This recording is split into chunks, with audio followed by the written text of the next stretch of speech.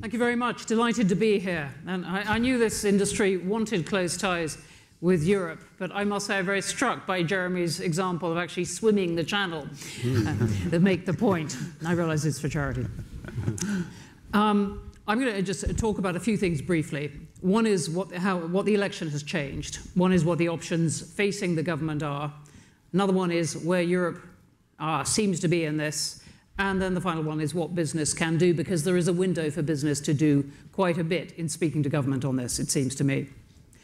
Well, the ele election has changed the mood. It has not changed exactly what ministers were saying up till this morning when the Chancellor got up and started talking in his delayed Mansion House speech, talking about staying in the customs union at least for a bit. The position of the cabinet has been, uh, at, at, least, you know, the, the, the letter of it has been look, we're still going for what the Prime Minister said early in the year out of the single market, uh, out of the customs union, uh, out of Europe. But clearly the mood has changed, and all kinds of things that were clearly off the table or seemed to be clearly off the table after she made that speech at Lancaster House are now back on. And so we have a much more fluid picture. This should be good for business. Uh, many options that are better economically than certainly than leaving without a deal and the many things that she was talking about.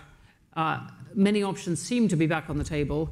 What is bad uh, for business and for many people is the sheer amount of political uncertainty that exists and the likelihood, um, I don't mean the probability, but the high chance uh, that this government is not going to make it through all these very complex and controversial negotiations and get them all through Parliament. So what have we got? Well, we've got a, a range of options. We've got staying, staying in Europe, but let's put that one aside because at least at the moment uh, it seems not to be quite on the table. If, though, we did start heading back to that, we wouldn't get quite what we've had. We would probably get what uh, Cameron had before the negotiations, so before the small concessions he got. So we got staying in the single market. Um, we've got a customs union or the EEA Norway option, and these are not the same. I'm going to talk quite a bit about them. We've got the bespoke deal, the free trade agreement that we've been talking about this morning, and uh, that, that we kicked off this morning saying, you know, wouldn't it be great, as Mike said, a comprehensive bespoke EU UK agreement? Um, and I'm going to talk a bit about that. Or we've got the option of no deal, and I'm not going to talk very much about that because I think we are pretty much agreed in this room that that is um, pretty terrible for many people, including this, this industry. So what do these, these, these options look like? Um, well, let me take the EEA one, the Norway one. And Norway, Norwegians have been quite vocal in the past, um, the past week or two, of saying, look, are you really sure you might want this uh, as an alternative to coming, uh, you know, com coming out quickly of, of, of, uh, the, of, the, single market? Now, it, look, it re retains many of the benefits of the single market, and Britain would have to sign up still to the four freedoms, though it would retain a bit of, a bit more uh, control over immigration. It would have a bit more control over courts, uh, some things like that. Um, but it would uh, not entirely solve the Irish border problem, and it wouldn't solve some of the questions that this industry is raising about um, you know, so there would be free movement of goods, but it wouldn't uh, do away with the friction of tariffs and so on. So attractions there, um, but, but disadvantages. We've got the customs union, which Ian was talking very eloquently about just before the break. And I must say I'm more skeptical than Ian is that this solves many of the problems um, of, of this uh, industry, um, and it doesn't solve uh, the problems at all of other industries, particularly services, which are more than two-thirds of the UK economy. Customs union is, is quite a complex thing when one gets down to it. And if you look at uh, the Turkish example, so a great, Turkey signed into the EU common tariffs. Um, but it doesn't always work to Turkey's advantage. It's very asymmetrical. So it means that if the EU does a, a free trade agreement with another country, as it's done with South Korea, then South Korea gets uh, access to the EU and to Turkey's markets. But Turkey didn't sign that deal with South Korea, and Turkey doesn't get access uh, on those terms to the South Korean market. So it's asymmetrical. And the more free trade agreements the EU signs, the worse that position gets for Turkey. And it's something that they're quite um, shrill about. In fact, even before Turkish politics got into its current paranoid phase, if I can put it that way, they were calling it one of the great Ottoman capitulations, this thing that we might be aspiring to. Um, Turkey, so you might say, look, can't Turkey go and do its own free, uh, free trade agreements with other countries, which, contrary to much of what you read about this, it actually is allowed to do. But what it can't do is do those setting aside EU tariffs. It has to keep those EU tariffs. So it's negotiating with other countries with one hand behind its back. And it's a very difficult position. It's also to make things frictionless, taking in all kinds of EU regulations into its own laws to help the help trade move along. Um, and it seems to me if we're going to go that way, we don't want quite what Turkey's got. It's not as neat an off-the-shelf option as it seems. We'd want it tailored a bit, an off-the-shelf suit, if you like, with quite a bit of adapting to make it more comfortable for us because the position that uh, uh, Turkey's in is quite difficult. And what we'd want to ask for specifically is to see if we could get a fudge to get access to the EU's free trade agreements. And lawyers are divided on this point. So this is not as simple, it seems to me, as it might uh, seem. Though it does have attractions, one of the big ones is that it would solve the Irish border problem, or significant bits of it. But the services industries uh, would come storming in and say, look, it doesn't really solve any of ours. So th those are two there, and they're, they're in play in a way that they weren't before the election, but they're not the simple option that we might want. And um, then the, the free trade bespoke deal. Well, it depends what's in that. It sounds great now because we imagine it being tailored around the things we want. But it's going to be tailored as well, even more perhaps, around the things the Europeans want. Which brings me on to the question of what do they want? Well, at the moment we have risen again, the Franco-German axis in this, the two powerful countries in Europe very much determining the terms of this, with President Macron uh, doubly enforced after the parliamentary elections um, in, in his position of strength. But the Germans are interesting on this, and they say, look, he's really, he's got to deliver on, the, on the, the, what he said he will change about France itself before we really accept this as a sort of double-headed partnership. And, and it, it, seems to me it is very clearly Berlin that is driving uh, the terms of this, uh, of this negotiation. And no, they don't want Britain to crash out without a deal at all. I think that is clear. Um, but no, they're not, going, they're, they're not on for a very easy negotiation either. Now, we can already see the fudges coming in, which are going to walk everyone back from the cliff edge, and it's encouraging um, that we can begin to see a few of these, uh, the British concessions already, which have been some weeks in preparation, agreeing not to demand uh, trade talks in parallel. You can begin to see people talking about breaking down the famous Brexit exit bill into much smaller pieces uh, so they can be ne negotiated separately and it doesn't look like such a big lump. You can hear the talk of, of concession, but there's some, still some very chunky stuff in there. And on the British side, it seems to me, the weakness of this election, even if it was billed as the Brexit election, is that no party dealt with the painful compromises that this country is going to have to make if it really is coming out of the EU and wanting to retain some control over immigration and some sovereignty over courts. And no party did this. Uh, the uh, Labour manifesto, it seems to me, was uh, pure cake uh, have your cake and eat it. So was the DUP, which was saying uh, we want to come out of the single market but retain all the benefits. And the Conservative one said, trust us, um, we'll get a good deal, uh, or we'll get the best deal that can be got without saying what that might be or what the red lines might be. Um, uh, and the Lib Dems who did say stay in uh, got hammered. Um, so we still have this very difficult uh, public debate um, and a parliamentary debate along with it in the very, very unstable politics that we have at the moment. Let me just say briefly then, what can business do? Well, um, when, when the referendum happened, businesses very sensibly started uh, trying to make their views known to, um, to government. There were some awkward awkwardnesses on some businesses' uh, sides, particularly in the kind of medium-sized businesses who'd had a government affairs department perhaps and used it for trying to work out what parliamentary committees were doing and suddenly whirled around on it and said, how does a customs union work? And there was a sort of yelp of pain. Um, but um, business, I think, was very intelligent of putting cases about supply chains and so on to government. And there was the months of what uh, we now call the sponge. All kinds of stuff went in. Absolutely nothing came out. It didn't mean it was wasted, but it wasn't being joined up, particularly in government at all. There is now a chance to make those arguments again, and I think more likelihood that they will stick. It's not that nothing has happened on the government side. Actually, a great number of experts have been hired.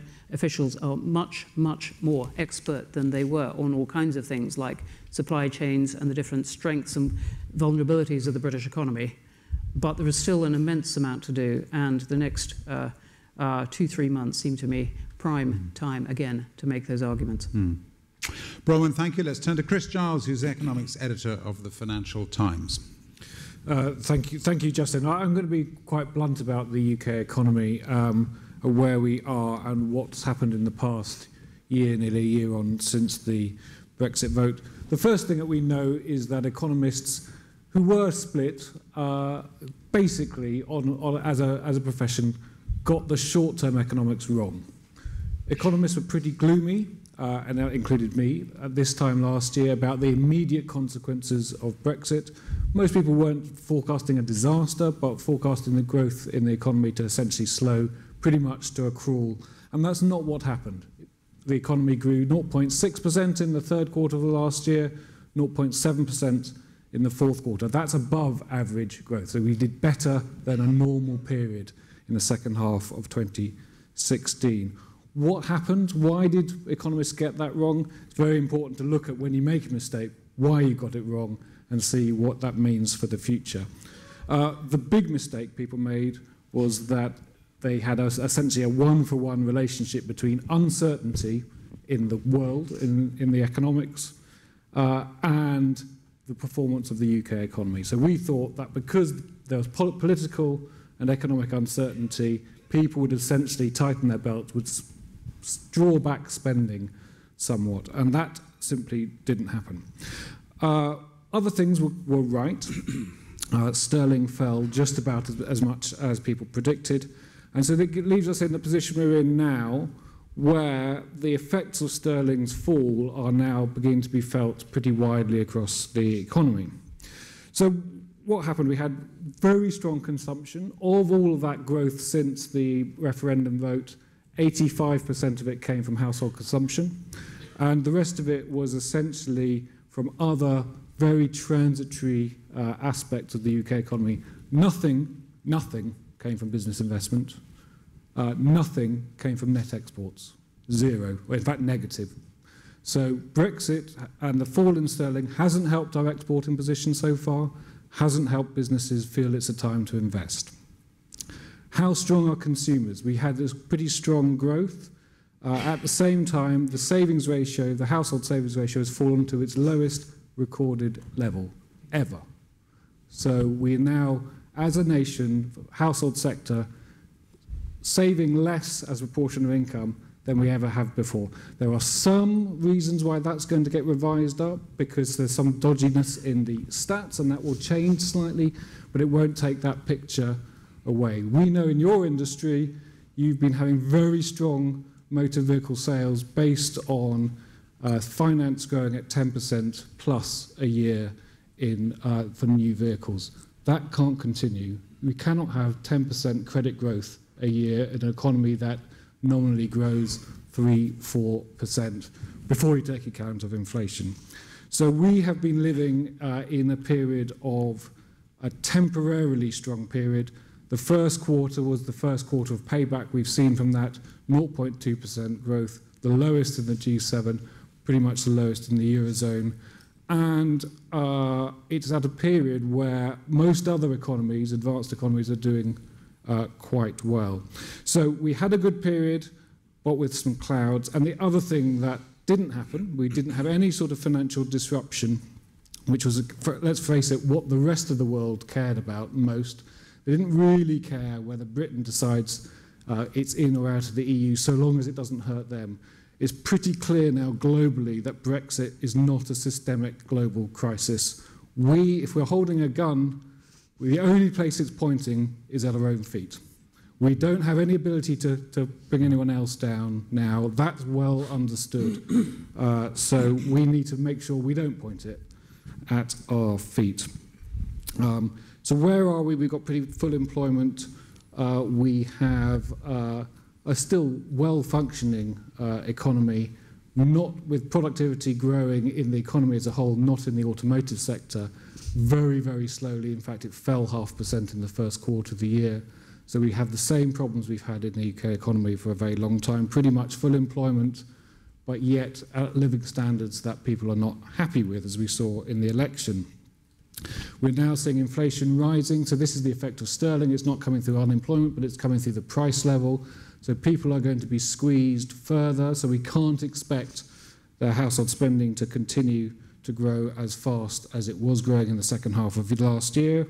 We can't expect people to keep on borrowing or saving less over time. These things do have limits. So we should expect a period of slower growth where the effect of sterling's fall comes through people being poorer than they otherwise wanted to be, and probably that means less happy, and I think that's part of what we saw in the election.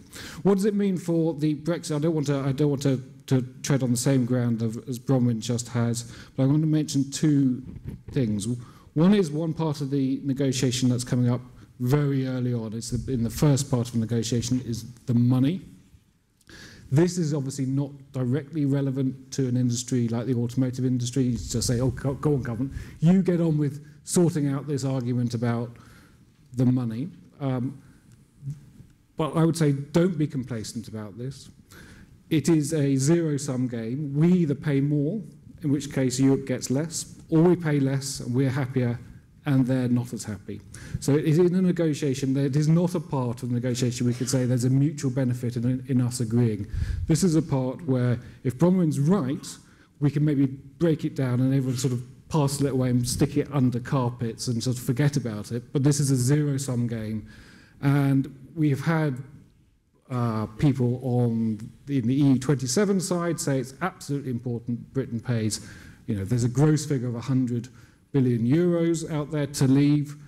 But let's, let's not exaggerate this number. Net, that when we net off what they owe us, that would be more or less in the sort of 60 billion euros, in sterling terms, about 50 billion quid. Let's not think this is a huge amount of money. It's not something to, to give up the things that you might want, single market, customs union, over 50 billion quid. 50 billion quid, 50 with nine noughts on end. Big number for any individual person in this country, obviously. Uh, but let's put it into a, a bigger context. Compared with the size of our national debt, we'd have to borrow this money. Our national debt is 83% of our size of our economy. It would rise it, raise it to about 85 and a half. So it's 2.5% of the size of the UK economy, raising the national debt from 83 to 85 and a half doesn't really change the outlook of Britain. If we scuppered the whole negotiations on the money and industries like yours said, oh, just let them get on with it, and then we fall into a position where we don't agree, that would be a tragedy. So we must actually try and make sure that that doesn't happen. And the second thing I think is also where there's definitely a, a, a big chink, chink of light is the transition element of any deal. Uh, the, one of the things the Chancellor said this morning was he didn't use the word implementation, or he did use that word as well, but he also used the word transition, which he's been very clear not to use because it's been a sort of a no-no word in government because that could mean a transition to nowhere rather than implementing a final deal to a destination you've got to you've already agreed. He for, for the first time used that today. So i think getting that sort of having government realize that transitioning in pretty much the arrangements we've got today is something that industry should push for because then you've got time to work out what the long-term uh, trade-offs and costs and benefits of moving are. That, that would require government to make big concessions and the Brexit, the people who really want a, a clean Brexit, getting out quickly, would hate that. But that is probably, I think, one of the best hopes we've got. Mm. stop there. It's very interesting. We talked to Dan Hannan on the programme yesterday, towards the end yeah. of the programme, the, the Conservative MEP and one of the kind of intellectual kind of powerhouses of, of behind Brexit. And he, he wasn't a million miles from that, and he was pretty relaxed about some long-term transition, etc. We, we talked to him just after Nick Clegg, and I couldn't really see much that they disagreed on in, in, in, a, in so, a and that, that's precisely why I think it's the thing that industry should push for, because if you can get that, if you can get people saying, okay, we'll go for something that's not much change in the short term after the two years, mm. then business can plan pretty much as business as usual for a period and you can have a much more much calmer discussion yeah. about what changes might happen in the longer term. Okay, Chris, thanks. Uh, professor Alan Winters is Professor of Economics at Sussex University. He's also the Director of the UK Trade Policy Observatory. Professor. Uh, thank you very much, Justin. Thank you, everyone. I want to make uh, three points. One follows on a little bit from what uh, uh, Chris has just said, and that is to say that trade agreements take time. We all know they take time, and the need for a transitional arrangement is so that we have time to negotiate a decent deal. The only way one can settle a trade deal in the course of a year, certainly if you haven't done a great deal of preparation, is just get your wallet out and say, how much would you like? So if it's going to be a sensible negotiation, it's going to take longer than two years. Uh, just to illustrate that, you've all heard about the Canadian uh, EU trade agreement, CETA. It's taken eight years to negotiate. The Wallonians tried to sabotage it. They've passed it. It's been ratified. It's due to be implemented on the 1st of July, but it might not be. Because the European Union objects to the way that the Canadians might administer a quota for 18,000 tonnes of cheese. The Canadians have agreed to take more cheese, and we don't like the way they are divvying that up so we might not implement it yet. Of course we will, but the point is these things depend on lots of other little players who've got things that are big to them and little to you. So it's just inevitable that we have to take time. We have internal politics to sort out, we've got to work out what our partners want, and we have all these, these sort of little irritants. So the transition, I think, is essential. We don't want a transition that we have to negotiate, because that would be like negotiating the trade agreement anyway. So the transition has to be, in a sense, adopted as a package. One possibility is just to say it's the entire status quo, the single market, the customs union, is effectively membership until we have fixed this thing, and then we would leave. Another way is to say we leave and then we negotiate some off the shelf package like the European Economic Area or something like that. But we do then have to go to the World Trade Organization to get essentially them to agree or a waiver to be able to have zero tariffs with the EU, but not zero tariffs with the US or with Japan. So it's complicated. Uh, second thing, as Bronwen said, this is the time for business to make its voice heard. Um, you know, it's not all going to fall in one's lap. It actually does have to be organised and pushed for. Uh, the customs union is clearly important. Um, uh, we um, heard that from Ian. Uh, the single market is also very important. Remember that uh, your industry absorbs quite a lot of services. So if we get into a position where there's no trade agreement at all about services, service imports will be much more difficult to get. British service providers will become much less competitive. And so a lot of the things that we take for granted actually will become uh, more expensive. So I think it's very important to realize that, in a sense, we didn't quite deserve it, but suddenly everything is thrown up in the air again. The agenda has become much broader, but it has also become much riskier, more difficult than, say, two months ago to predict where this thing might end. Uh, this is the time to intervene. The third point I want to make is that there's been a lot of brave talk over the last year. Don't hear it as much now about, don't worry about the European Union, no deal, it'll be fine. There are lots of other people we can trade with, and that will be fine. We can strike deals with them. It, it's, just, it's just not real. Uh, we send, we, we do half our trade with the European Union, and so to the extent that we do anything to disrupt that trade, we essentially have got to do an offsetting thing with just about everybody else in the world if we're going to increase trade to make up the difference. Uh, there are 53 countries with which we have free trade agreements already through the European Union, and Bronwen said it was ambiguous, but most lawyers that I talk to say there's nothing to discuss. You're out of those. We will fall out of those when we leave the European Union. And some of those are potentially quite important markets. Um, some of them are tiny, but some of them are quite important. And then there's negotiating with the nice Chinese. Um, steel. I mean, I'm sure you know what you feel about steel imports, but there are other people who feel quite differently about steel imports.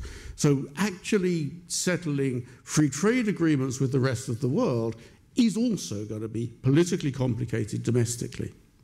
It's also going to be complicated and time absorbing for them. Why would they want to sign an agreement with us until we have settled our position in the World Trade Organization, our standard trade terms, and they know how we are going to interact with the European Union.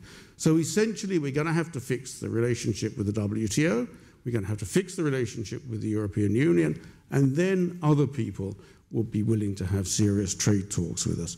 Again, uh, that is a transition that we haven't talked about very much, but if we had a reasonable transition period with the European Union, we could get a lot of the groundwork done uh, for these additional free trade agreements uh, that uh, some people think uh, will save us. So everything to play for, and timing really is very important. It's going to take a very long time. Mm. Uh, Alan, thank you very much. Well, let us hear now from, in a sense, an outsider, but in a sense, very much an insider when it comes to the business of doing these deals that we're talking about, because uh, Frank Samolis is partner and co chair of international trade practice at uh, Squire Patton Boggs. Um, so he's an expert on international trade matters, including all of the details of these negotiations. You've represented, haven't you? Well, both governments and, and companies as yes. well. Take it away. Thank you, Justin, and thank you all for having me. Uh, as everybody said here, this is very complicated. I'm going to make it more complicated by looking beyond the UK and Brexit to the United States, and specifically the trade policy of the Trump administration, which we are still trying to figure out. uh, but some things are clear. Um, you heard during the campaign how much Donald Trump hated trade agreements. The, the United States is always on the short end of the agreements. There's a requirement for every president of the United States to file a trade agenda every year by statute. And President Trump filed his report in April, and there's nothing terribly surprising about it. You know, more robust agreements, greater enforcement. But one thing struck me, and that is a couple of paragraphs, and the title was National Sovereignty Always Prevails Over Trade Policy. And what does that mean? It means that President Trump, a transactional president who thinks the United States has not gotten a great deal, does not think very highly of multilateral institutions like the WTO. And I'm sure he hasn't looked into the details of the WTO, but if I were uh, Steve Bannon or somebody like that and wanted to get the president's goat, I would say, in the old days, the GATT was really four entities that set all the rules. It was the US, the EU, Japan, and Canada. With the WTO, it's become more like the United Nations. Since the WTO, every trade law has been challenged. And the US loses cases. We lost a case to Antigua, a tiny speck of an island. We lost a case on underwear to Costa Rica. So if you can imagine somebody putting these arguments to Donald Trump, how do you think he would respond to the legitimacy of the WTO? National security prevails over trade policy. I will not be surprised if he decides we can ignore cases that we lose in the WTO. I wasn't elected uh, by the citizens of Geneva or Paris or London. I was elected to protect American workers. And if we lose cases there, go ahead and retaliate because we can retaliate more. That is not a far fetched notion. The president has done some unprecedented things. He created an agency that didn't exist before in the White House called the National Trade Council, headed by a man by the name of Peter Navarro. Now, I never heard of Peter Navarro before, so I did some checking, and he wrote a couple of books, which I read. The first book was uh, The Coming Wars with China. The second one was Death by China. this gives you some perspective for, for where Peter Navarro is coming from. Now, that, that council was created in January. It no longer exists. Trump got rid of it last month.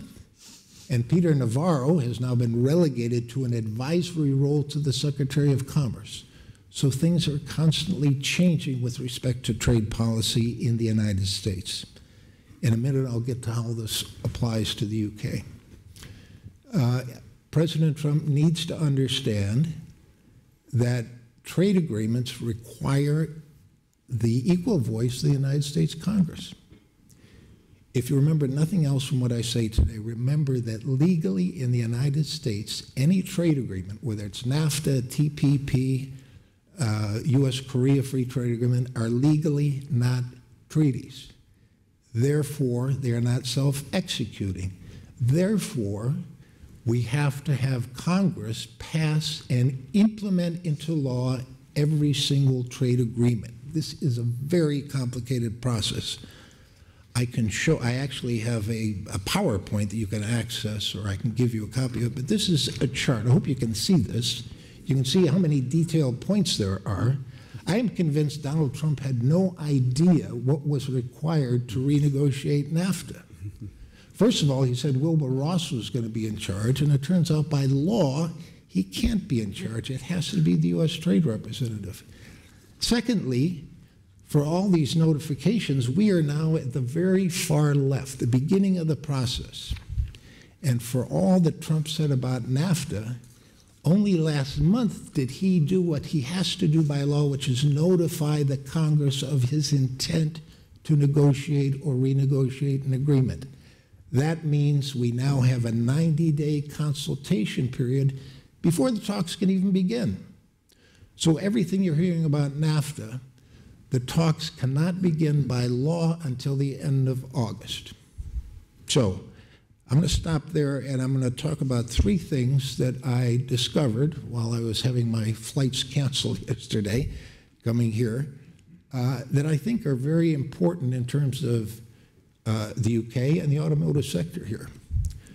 The first one has to do with unilateral actions by the president on trade. Professor Winters talked about steel. You may know that Donald Trump has invoked a rarely invoked law, the Trade uh, Expansion Act of 1962, which has to do with national security. If the president finds that national security is being threatened by imports, he can essentially do whatever he wants quotas, tariffs, voluntary restraint agreements. Just yesterday, Wilbur Ross said the president is going to make a dramatic announcement, likely this week, on the steel case.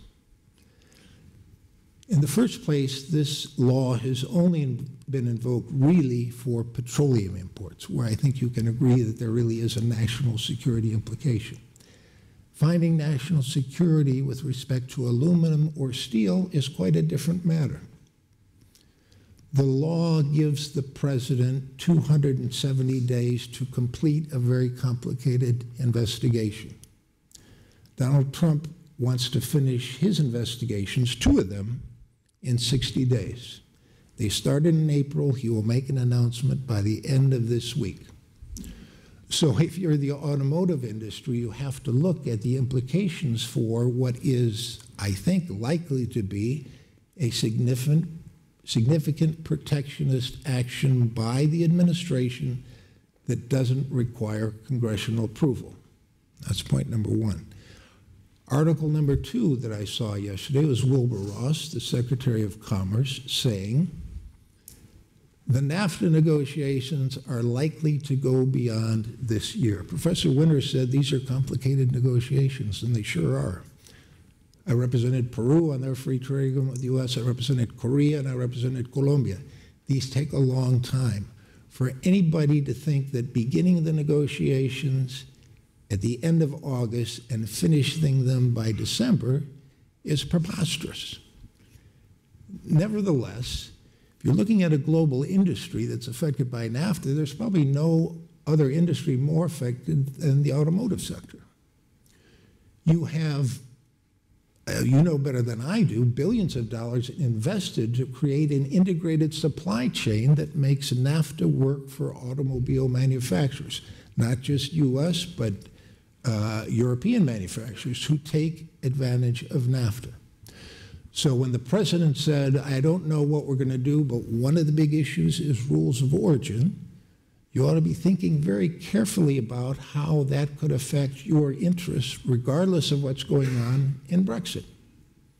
When I talked about this consultation period of 90 days between the Congress and the president, in Washington, that means the lobbyists are out in force. They talk to the members of Congress and they tell them what they need to see in the agreement, what needs to be protected, what needs to be expanded. And if Donald Trump thinks he's going to get NAFTA negotiated without Congress, he's got another thing coming. This is how it works in Washington. I'll give you one quick example. On the Korea example, uh, Korea Free Trade Agreement, where I represented Korea, the agreement was signed. It was negotiated. There was a big ceremony. The agreement was done. The president goes to the Congress, first to the Senate, and he gives it to the chairman of the Finance Committee, Senator Max Baucus from the great state of Montana. Uh, and Senator Baucus said, Mr. President, I've been telling you all along, you haven't done enough in this agreement for beef. I need Montana beef to have better access in Korea, and you haven't come close to that. And if you don't fix that, you won't have my support, and I'll work to defeat this agreement in the United States Senate. The president then goes to the House of Representatives and meets with Sandy Levin, the ranking Democrat on the Ways and Means Committee that has jurisdiction over on trade from the great state of Michigan. And Sandy Levin said, Mr. President, I've been telling you all along you haven't done nearly enough for expanded market access for American automobiles in Korea. And until you fix that, I will oppose this agreement and I will lead the opposition of Democratic president to the agreement in the House. So, what happened? What happened was the negotiation of side letters side letters that basically changed the deal with respect to beef and automobiles. Whether that's legally challengeable is an interesting question, but nevertheless, the Koreans had no choice. They had to accept that for the agreement to get through. Now, the third thing I want to mention is you probably read that yesterday it was announced that the US and the UK would begin discussions of a framework for a free trade agreement. It's unclear. Professor Winters is absolutely right. You've got commitments under Article 50 before you conclude agreement, but it doesn't stop you from initiating discussions. Remember, when Donald Trump was running for office, he said the first thing we'd do on trade would be to no negotiate a free trade agreement with the UK. And the Speaker of the House, Paul Ryan, came out and supported that which was politically very clever because it put President Obama in a box. Obama is committed to the U.S. European Free Trade Agreement. He can't support that. So he said, Well, I support the UK, but if they want a free trade agreement, they'll have to get to the end of the queue. He actually said queue, which I was impressed with. so let's go back to NAFTA. There is no legal prohibition on any other country exceeding to the NAFTA. Okay? We know what President Trump has said about NAFTA, the worst trade agreement ever negotiated in world history. So, what if the UK were to apply for observer status, observer status to the NAFTA? If you're talking about a free trade agreement, Donald Trump could say, I fixed it. I was elected to fix NAFTA, and now we're going to call it the North Atlantic Free Trade Agreement, and now we've got the UK involved in discussions. The UK gets leverage relative to the EU. Understanding all the legal prohibitions, these are things that your industry needs to think about as the United States develops a very unpredictable trade policy. One thing that will not go away is the role of Congress. I can tell you now, just like it happened with the Korea Free Trade Agreement, the domestic automobile industry in the United States is all over these agreements. I am sure they are now consulting with their members to do, if they have to do it again, what they did on Korea.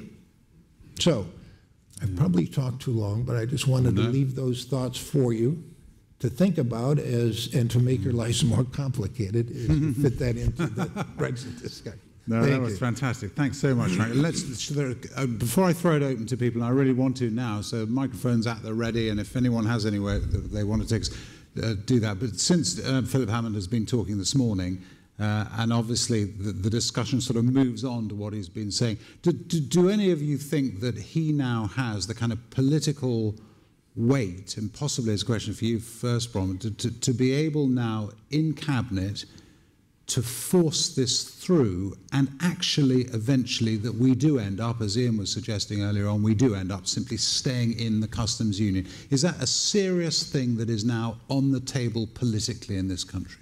It's on the table. That doesn't mean he's got the weight to get it through. And at this point, I would say no. But much, much to play for. May I clarify one thing? I totally mm-hmm. agree with Alan. You know, if we're out of the EU, we're out of the free trade agreements. The question is, could we, if we stayed in the customs union, argue for something better than Turkey's got? That's the bit that where lawyer, lawyers are arguing, but it's, it's a long shot. What do you think, Chris? Uh, I, I agree with I agree with Bronwen that he, he's not there yet, but that's why in a setting like this, if you really want the customs union, you need to get behind the chancellor because we know privately he's been arguing for the customs union since the 24th of June last year, and lost that through last year in government. Uh, he's now pulling it back onto the table as a transitional issue. If you want it to be longer than transitional, it's now that you've really got to be uh, going for it because it's he's now able to at least raise the issue publicly, which he wasn't last year. So it, it is beginning to get back onto the table, but it's not there yet. Uh, I throw it open to anyone who uh, has anything to say on any subject. I'm, I'm really interested in, in, yeah, gentleman right in the middle. I want to get back to the business of complications of trade agreements in a second that we've heard lots about. But people endlessly come on the Today program and say you could do it in a couple of weeks. and some of them are former trade negotiators too. It's very strange, but we'll get to that in a second. Here we are, gentleman in the middle. Um, yes, hello, Jean-Louis Evanson Tufsud. Um, as an alternative uh, to uh, staying within the customs union, do you think it's uh, a reasonable fallback situation to have a mutual recognition of technical standards? And to what extent would that allow current trade to continue in an acceptable way to the automotive industry in the UK and in the EU? Alan? Um, I think the customs union and uh, mutual recognition are really separate issues. Customs unions are formally speaking um, about tariffs. Um, and if the tariffs are all zero around the whole block and there's zero tariffs in between, you can be more relaxed about internal borders. Mutual recognition on standards is a single market type of issue. And so you could imagine that you had mutual recognition of standards, but nonetheless tariffs and serious customs formalities. You could imagine exactly the opposite. Many customs unions, well, to the extent there are customs unions around the world, they don't all have uh, technical uh, mutual recognition. So I think this is an important. I mean, I, I think uh, from what Mike Hawes was saying this morning, the customs union and the single market deliver different things to this industry. There's a complicated, there's a messy little overlap. Quite a lot of the customs coordination within Europe actually falls under single market legislation rather than customs union. But frankly, that's a detail. If we had the will to have really smooth customs within a customs union, we could do it. Um, but I think the point is that, uh, as he pointed out, you need the technical stuff, and that's single market, m- mutual recognition. You need the zero tariffs, and that's uh, customs unions. Frank, you got a th- thought about that? Yes, uh, you reminded me of the uh, TTIP, the Transatlantic Trade and Investment Partnership, a terrible acronym, but it's the US EU trade negotiations. The catchword there is something they call regulatory coherence, which is basically common standards. And I don't know if it was discussed earlier, but there's a question as to number one, what happens with TTIP? What happens with the negotiation of a US EU trade agreement? Donald Trump got rid of TPP within two days of becoming president. He has not done that with TTIP. TTIP has all sorts of problems, political problems in the United States and in Europe, mm-hmm. but right now the UK is still part of TTIP. So, how does the UK deal with regulatory coherence if the TTIP, for, in whatever form, goes forward without them? That's another complication. Hmm. I throw it open again. Uh, anyone anywhere who wants to add anything or, or ask anything? Yeah, gentleman right at the front here. Here we go. Toby Richards Carpenter, Bircham Dyson Bell. Can any of you see any convincing arguments that Britain leaving the EU could actually be a good thing economically, at any rate, long term? Chris. uh, my, the short answer is no, not e economically. I don't think it's a, a good thing. My general uh, analogy I have for this is that we are we have a reasonably smoothly running gearbox of an economy, and we're sitting here at the moment with a large cup of sand or bucket of sand and deciding how much of that we want to pour into our, into the cogs of our economy. Let's hope we don't pour a lot in. If we leave without a deal, we'll put, chuck the whole lot in. Uh, so I don't think there's, you know, when, when you when you say what advantages are, they, they tend to be in two forms. One is trade deals with non-EU countries which we might be quicker at signing than uh, the EU as a whole. I think we've heard today this is very, very complicated, so we shouldn't assume that as a benefit of leaving the EU.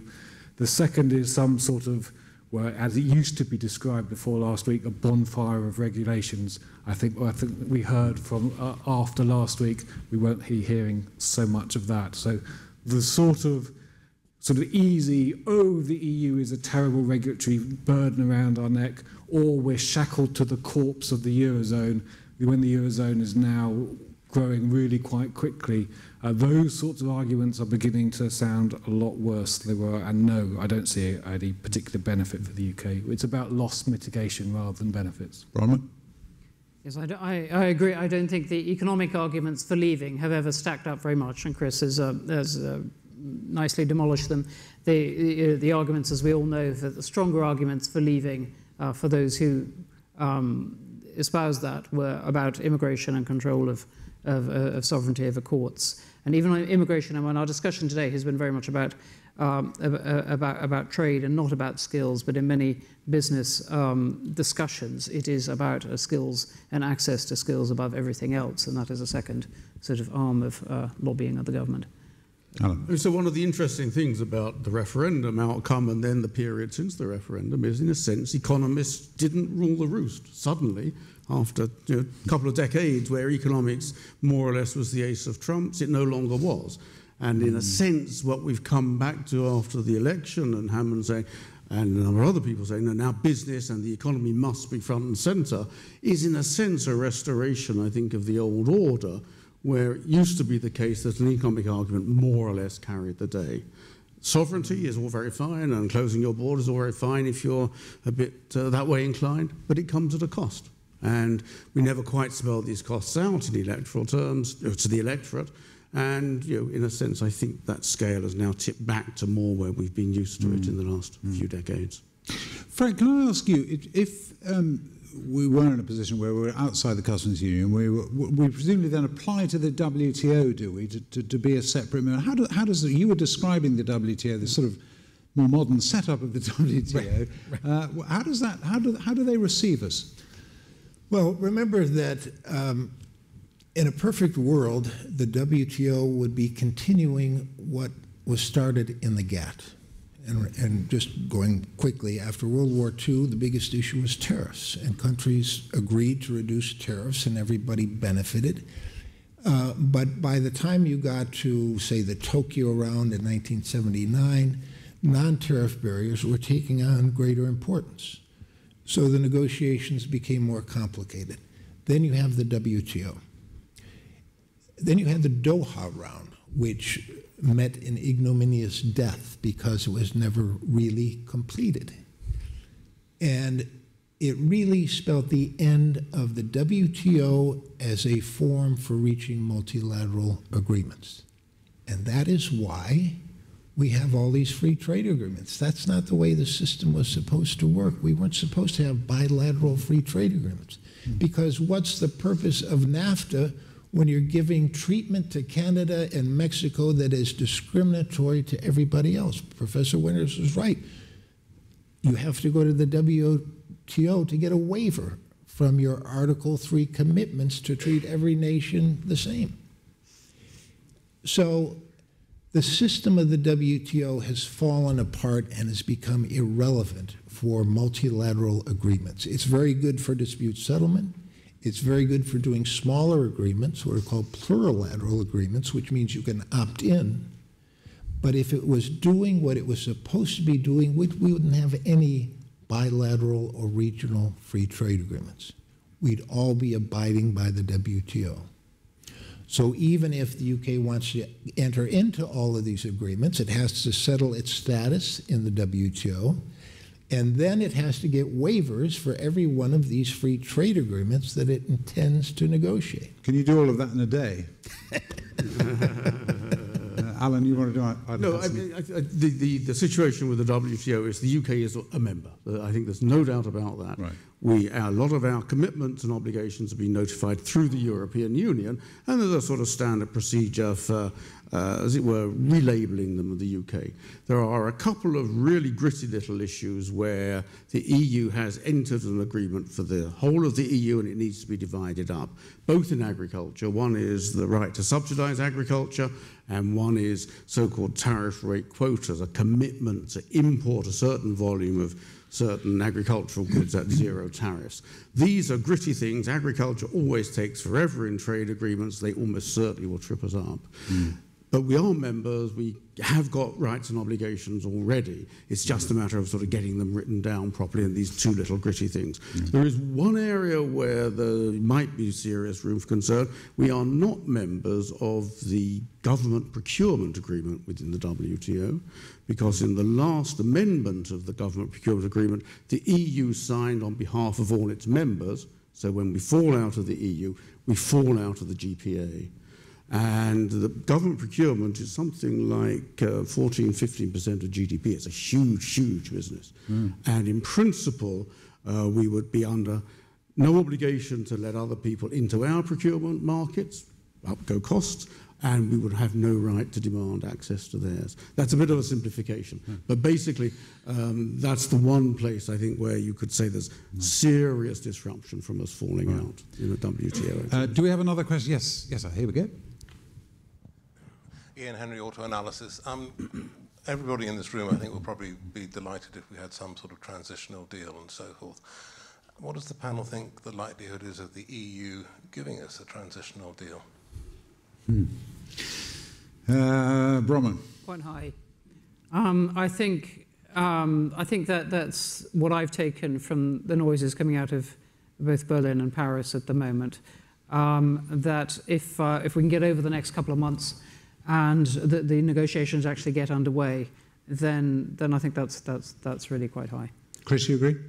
Yes, so, so long as it's an off-the-peg deal, that it's not doesn't require lots of negotiation, we don't ask for too much, so we don't ask for uh, ending any sort of free movement of labour and yet keeping everything else. So we don't just have a sort of try and have your cake and eat it type of a transition. Can I just, uh, uh, the, the, the, chance of the EU agreeing to that is much higher than the, the chance of part of the Tory party agreeing to that. Mm. I think that, that's yeah. the problem. yeah. And that, of course, I mean, we should mention as well the chances of an election uh, before any of this, uh, yeah. percentage wise, what do we think? Before any of this? I mean, we're into it, but I mean, uh, uh, yeah.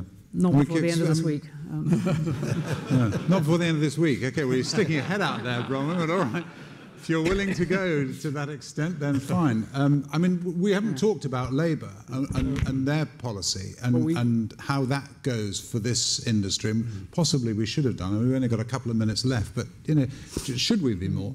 Oh, I think we should. I think we, mm-hmm. if you can look at the Maastricht, how Labour behaved in the Maastricht Agreement, which was a much smaller issue under John Smith, 92 93, when that went to the Commons. John Major had a bigger majority than Theresa May has. And Labour, just in a totally unprincipled way, decided to find points of principle to vote against every aspect of the Maastricht legislation, siding with whoever it was. It was the sort of, uh, John Major called the bastards in the white flapping coats yeah. at the time, uh, who were the Eurosceptics at the time, and Labour would vote for them all the time just to make it difficult for the government. I can't see any reason why Labour won't behave in precisely the same way this time around. Except they might not want to inherit it immediately No, or, uh, or go for another election. I mean, it's an interesting one, isn't it? Um, I, think, I mean, I think Labour, you know, the, the Labour manifesto said everything for everyone, and it was pretty difficult to work out exactly where it lay over the concrete elements of Brexit. It seems to me the issue is not so much what the Labour Party thinks, but whether the Labour Party will maintain its unity in the face of a sort of you know, general turbulence in, in Westminster. It is a great time to be a journalist, as I said. Uh, huge respect. Thank you so much to our panel. A round of applause for them, please. and well taken.